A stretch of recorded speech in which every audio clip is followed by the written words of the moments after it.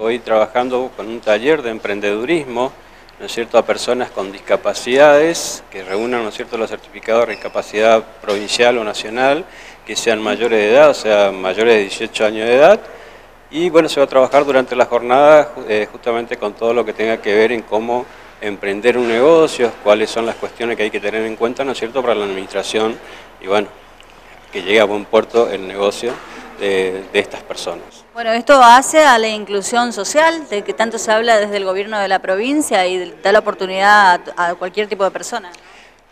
Eh, sí, cualquier tipo de persona que esté dentro de esas condiciones. claro, claro, pero lo que digo, dentro de la sociedad hay lugar para todo el mundo. exactamente, el programa se llama Pro Inclusión justamente desde el Ministerio de Trabajo, este es el tercer año que estamos trabajando, ya llevamos beneficiando a 180 emprendedores, llamamos emprendedores porque ya tienen su pequeño negocio, algunos fortalecieron y otros empezaron, pero por suerte todos con buen puerto. Y hoy estamos arrancando la tercera etapa o cuarta etapa eh, con 120 nuevos beneficiarios. 40 estarían destinados acá al municipio de Iguazú y otros a Oberá y Garupa, que es la zona que todavía no trabajamos.